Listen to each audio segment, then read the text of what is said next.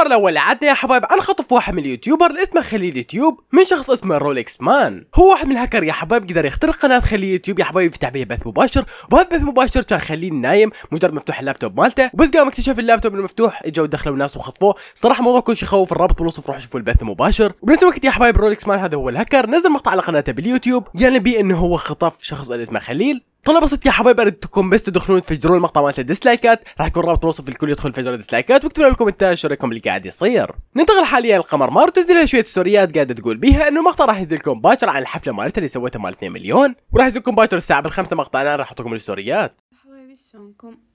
طبعا عليكم صوتي هسه أنا قاعدة من النوم. آه فيديو اليوتيوب تأجل آه على باكر الساعة خمسة لأنه الفيديوهات ما وصلتني. الفيديوهات صورناها بكاميرا هسه ما وصلتني.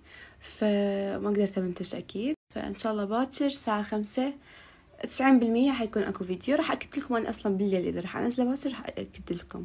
okay؟ فاكتبوا لنا بال comment ات قاعد متحمسين هذا الخبر. وننتقل حاليا للفضيحة التاريخية اللي صارت يا حبايب بعد ما قمر صورت شوية story ات ويا نور مار كان قالوا من خلال إنهم تصالحوا وراح ينزلوا مقطع باليوتيوب راح يشرحون شو اللي صار وشلون تصالحوا ولكن شيء صادم يا حبايب واللي شيء اكد إنه قمر مر نوعا ما هي مهددة من نور مار محمد واللي هو إنه كل fans ات نور القمر صاروا ينشرون يا حبايب هذه ال story ات صورة إيد قمر مار وهي صورة إيد نور مار. قاعدين اثنيناتهم داخل السيارة طبعا صورة قديمة لهم. يا حبايب وش اللي اكد إنه هذا هو إيد قمر وإيد نور؟ واللي هذا ال story القديم يا حبايب مثل ما شايفين كانوا داخل السيارة وكان أظفر قمر مار صبغ أظافر يعني نفس صبغ الأظافر بالصورة اللي لازمين إيد بعض. نوعا ما هذا يقدر يقول يا حبايب هو تهديد القمر مار إنه إذا حصير يصوروا أيمو ويرجعون يصورون ويا بعض ممكن يطلعون يفضحون كل شيء قاعد يصير أو يفضحون أشياء هواية. ما ادري صراحة تكونوا أحباب بال comments ات شو رايكم بهذا الخبر وشو اللي قاعد يصير؟ هل فعليا قمر محددة أو لا؟ وننتقل حاليا لياسو تنزل لها شوية story ات قاعدة تعلم من خلالها إنه سوت مقلب ببنينه وصراحة تقول مقلب كلش نار وأخيرا هي طبعا راح ترجع لليوتيوب. وشوية story ات تضحك راح أحط لكم إياها شوفوها. نانا زعلانة أكلت مقلب أنا حرام أكلت مقلب. لا مش زعلانة.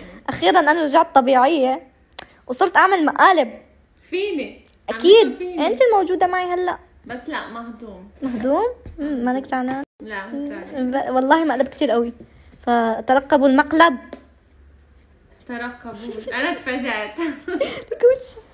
هم يا جماعة نينا أكلت مقلب. فترقبوا كتير قوي المقلب.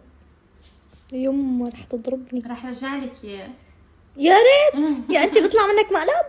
لا بس اجرب okay بنشوف روح حاليا لبيسان تكيتو شنو حكت على ياسو؟ فبيسان يا حبايب كانت فاتحه بث مباشر. وسالوها انه شنو مشكلتك ويا ياسو فردت انه ماكو مشاكل بيناتهم. شوفوا الرد. أنتوا وياسمين ما بتحكوا مع بعض؟ آه، صراحة مو ما بنحكي بس يعني ما بنحكي غير لما بنلتقى. يعني مو آه. لما يكون في جمعة تكون هي فيها بنحكي عادي كتير. يعني كتير آه. طبيعيين مع بعض. هاد زمان كنتوا بالفريق كتير قرب من بعض وكان الإشي حلو. إيه الصراحة أول ما فت على الفريق كنا راب يعني. كنت قريبة من الكل يعني. آه. هذيك الفترة كنت قريبة من مريانا ومن ياسمين. بس آه، لما ياسمين طلعت ف يعني آه قل الحكي عشان قل. الحكي. أصلا كان في مشاكل شفتي أنت؟ آه آه. بينها وبين وسام. آه متابعتك على طول أنا. يا بيبي. والله. بحب كثير ال- بالإضافة إنه بعض المتابعين صاروا يسألوها إنه هي ليش ما سوت follow فتقول بعد ما انهم شالوا ال follow عن بعض بدون أي سبب تقول لازم يكون أكو سبب عم ترجعون ال follow. ردي ليش مو عاملة follow لياسو كتير كانوا كتبوا هون. آه الصراحة لأنه يعني نحنا لما شلنا ال follow عن بعض ما يعني هيك شلناه بدون سبب فبدنا سبب ليرجع أو ما بعرف. أنا هيك بحس. أول شي صوتي مسموع لكم.